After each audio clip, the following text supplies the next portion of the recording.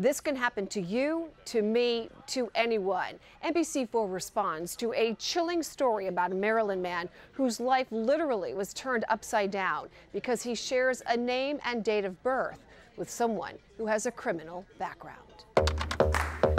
There's millions of people, millions of combinations of names, dates of birth. Chances are someone out there shares yours. But what if that someone is a felon? It's devastating for me and my fiance. This is Christopher Jenkins. And so is this. Aside from sharing the same name, they also share the same date of birth. But there are a couple of differences. This Christopher Jenkins has a criminal record and lives in Florida, a long list of offenses, including possession of marijuana. This Christopher Jenkins doesn't have a criminal record and lives in Maryland. Unfortunately, when a potential employer ran a background check on Chris, the criminal history of this Christopher Jenkins showed up instead. You've never smoked pot. Never smoked pot. Never been to Florida. Never been to Florida. But you got a criminal record. But I got a criminal record.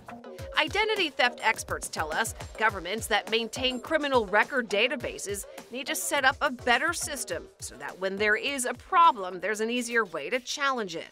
Has this impacted you, your relationship, your relationships with other people? I mean, is it just taking over your life? Yes.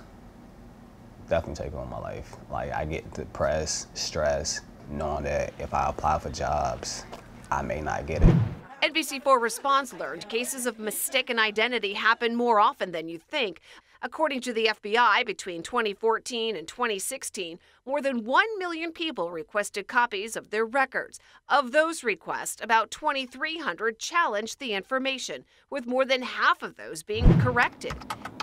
If you fail a background check according to the FTC, you have every right to ask why. They also have the right to correct any inaccurate information. Tiffany George is an attorney for the Federal Trade Commission. She says you must contact the company that ran your background check and ask to see the report. They should have whatever information at their disposal that proves that they don't have a criminal record and that you know their identity shouldn't be confused with someone else.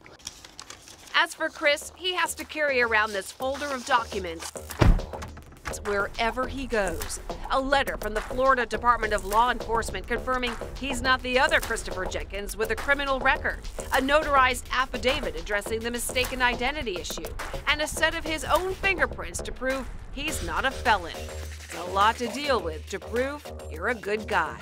It's devastating for me and my fiance because I'm trying to make a better life for us. And if I can't get the right job to provide for the household. It's hard.